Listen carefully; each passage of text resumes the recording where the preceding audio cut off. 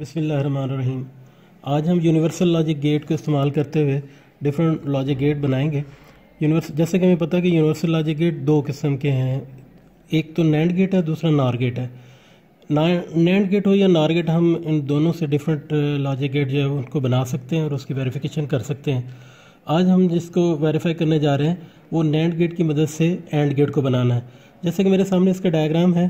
میرے پاس جو ہے نا آئی سی کا اسٹرکچر جو ہے نا وہ دو گیٹ یہ نظر آ رہے ہیں، جن میں جو ہے پہلے گیٹ کی ون اور ٹو ان پٹ ہے تھری جو ہے اس کی آؤٹ پٹ ہے، پھر دوسرے گیٹ کی فور اور فائیو ٹرمینل جو ہے ان پٹ ہے سکس اس کی آؤٹ پٹ ہے۔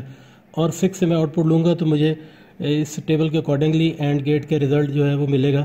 یعنی کہ ایک ہی دفعہ جب دونوں ان پٹ اے اور بی ون ون ہوں گی تو آؤٹ پٹ ون ہوگی ادروائز جو ہے نا آؤٹ پٹ زیرو ہوگی۔ تو چلتے ہیں اس کی ویریفیکیشن کرنے کی جانب۔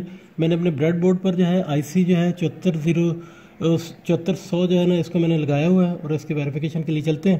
سب سے پہلے میں پن ون جو ہے پن ون سے ایک جمپر جو ہے ان پٹ کے لیے لیتا ہوں اور ان پٹ کی سائڈ پر اس کو اٹیچ کرتا ہوں۔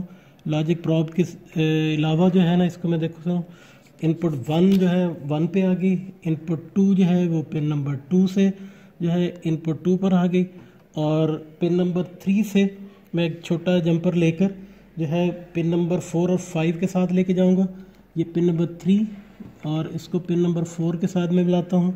لائک like دس یہ پن نمبر فور کے ساتھ ملایا، ایک اور جمپر لیا۔ میں نے اسی تھری کو جو ہے پن نمبر فائیو کے ساتھ ملا دیتا ہوں۔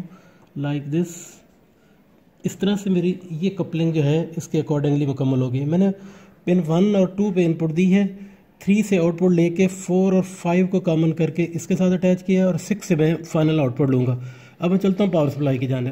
پن نمبر سیون سے میں گراؤنڈ کے لیے جو ہے جمپر لے کر جو ہے اس کو اٹیچ کرتا ہوں نیگیٹو سپلائی کے ساتھ، لائک دس۔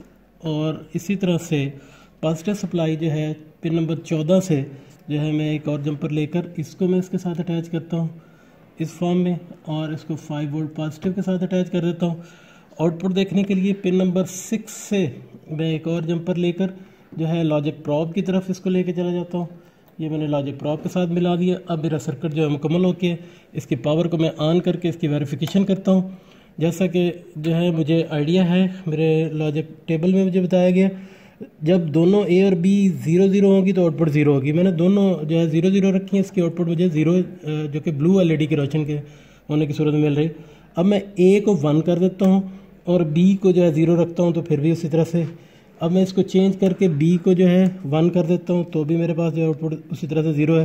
لیکن جیسے ہی میں دونوں کو ہائی کرتا ہوں میرے پاس جو ہے آؤٹ پٹ ون ہوتی ہے۔ اس سے ویریفائی ہوا کہ ہم اس نینڈ گیٹ کو استعمال کرتے ہوئے اینڈ گیٹ کا رزلٹ لے سکتے ہیں۔ اگر ہم اس طرح سے اسے مکمل کرنا چاہیں تو اس طرح سے اس کی ویریفیکیشن جو ہے مکمل ہوتی ہے۔